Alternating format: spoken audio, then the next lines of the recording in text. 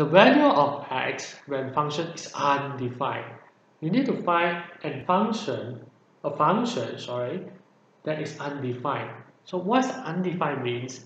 Undefined means anything divided by 0 will be undefined. Where if you put, where if you click in calculator, divide anything with 0, you will get math error. Alright, so you know that this A is equal to 10 and B is equal to 4.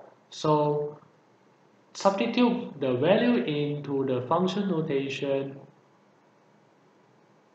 Sorry this is x plus 4 alright after substituting to find the value of x when function is undefined so function is undefined means the division the denominator have to be equal to 0 so find value of x means that x plus 4 equal to 0 x will be negative 4 this is how you do to find a value of x. When the function is undefined